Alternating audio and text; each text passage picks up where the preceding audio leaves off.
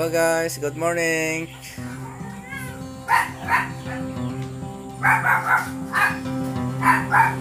Maingay yung aso. Hello guys. Ang bagong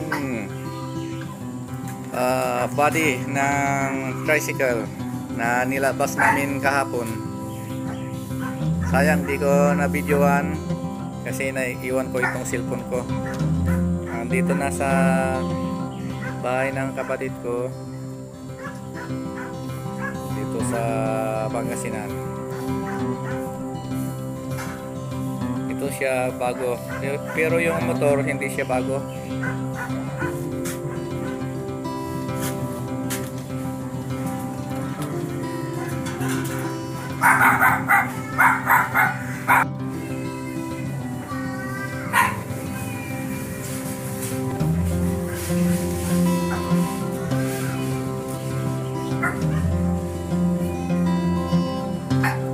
Ayan po ang harapan niya.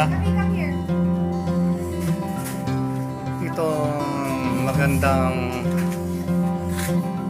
uh, sidecar ng tricycle. Uh, semi-stainless. Bali, kung daw ito. Uh, semi-special.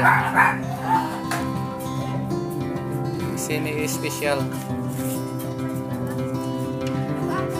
Tinanong ko bakit semi-special dahil daw may halo ng pan. Hindi stainless.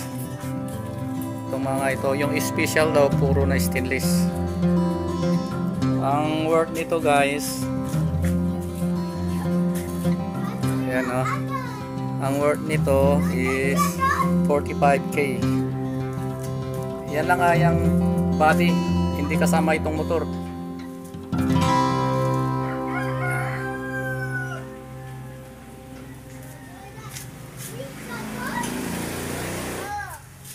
Itong motor, dito ang problema.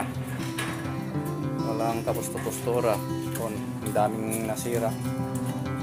Naipangga kasi ito eh.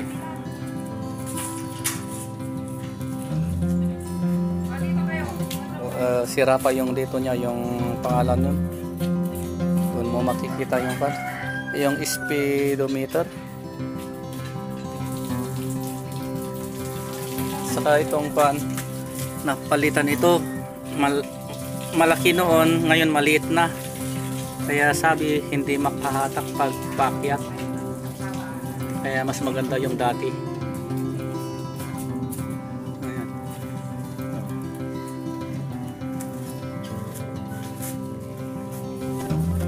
Yan, ganyan ang itsura guys. So, ito dapat stainless ko. Sana ito, itong mga ito kung kan special siya. Ang mga ito.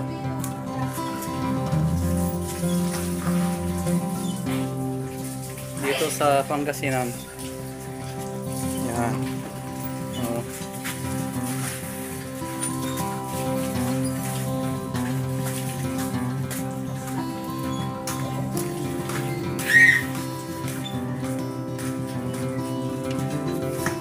Taas. Maganda ito, malaki. Ma uh, malaki itong kwan. Ito para doon sa para hindi mabasa yung driver so, malaki yung space hindi kagaya sa Sambalis maliliit yung iba ng motor maliliit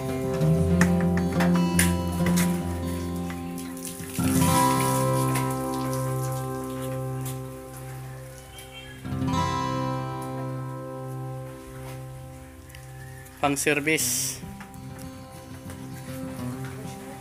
Pag pupunta sa palengke yan ito ang gawi, uh, gamitin. Pang service.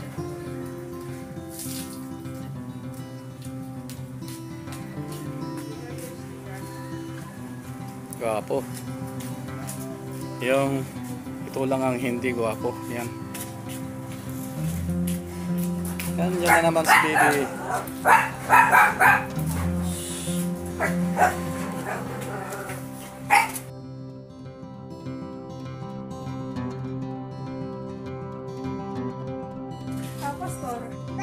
Pastor, ang wire ito stainless wood gagaw.